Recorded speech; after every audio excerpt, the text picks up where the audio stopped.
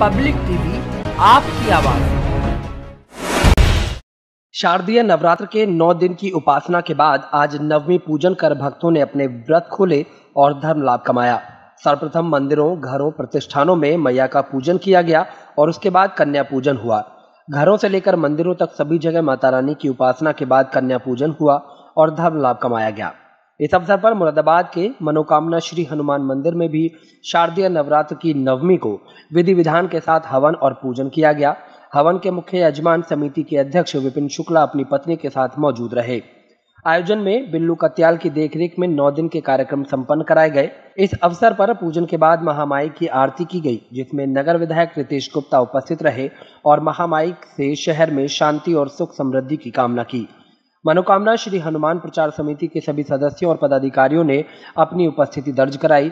इस दौरान नगर विधायक रितेश गुप्ता का समिति के समस्त पदाधिकारियों और कार्यकर्ताओं के द्वारा सम्मान किया गया। आयोजन के विषय में बताते हुए बिल्लू कत्याल ने बताया कि पूरे नौ दिन मंदिर प्रांगण में माता रानी की उपासना की गई थी, जिसमें प्रातःकालीन सत्र में हवन प्रतिदिन हुआ तो वहीं शाम को भजन संकीर्तन किए गए। इस अवसर पर समय समय पर शहर के गणमान्य लोगों ने आकर अपनी उपस्थिति दर्ज कराई और महामाई का गुणगान किया।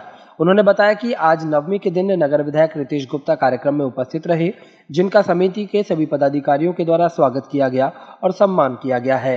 विधि विधान के साथ संपन्न पूजन के बाद भक्तों को भंडारे का प्रसाद वितरण हुआ। नवरात्र के नवमी आज नवरात्रि के नवमी के दिन मनोकामना मंदिर में आज यज्ञ का आयोजन किया गया है। आज समस्त महानगर वासियों को नवमी की बहुत बहुत शुभकामनाएँ मैं देता हूँ और माँ दुर्गे से मैं प्रार्थना करता हूँ, माँ से प्रार्थना करता हूँ कि अपने भक्तजनों को आशीर्वाद प्रदान करें और पूरे हर्षोल्लास के साथ आज नवमी का त्यौहार पूरे महानगर में मनाया जा रहा है, समस्त महानगर रखे हैं। उसके बाद में आज नवमी का कार्यक्रम रहा।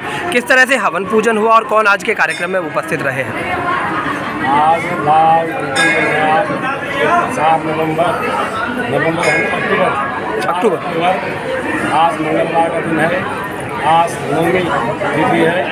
आज सिद्धिदात्री की पूजा हुई।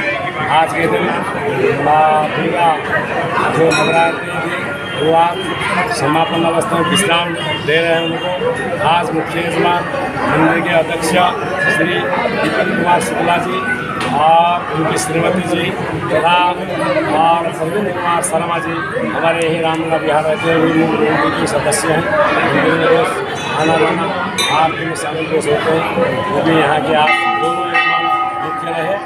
और सभी श्रद्धालुओं सभी हिंदू भत्याल जी और राजेंद्र जी और मलक्का जी जसदेव भत्ता जी, सभी जितने भी मंदिर कमेटी के सदस्य हैं, सभी लोगों ने इसमें सहयोग दिया। आज बारह बजे तक, नौ दस बजे से लेकर के बारह बजे तक पूजन और महायज्ञ हुआ। पूर्णाहुति हुई, अभी विधायक रितेश कुमार गुप्ता जी भी यहाँ पढ़ाए उनके सामने उनके हाथ द्वारा ही पूर्णाहुति हुई और उसके बाद भंडारे का प्रसाद आयोजन किया जा रहा है बारह बजे से।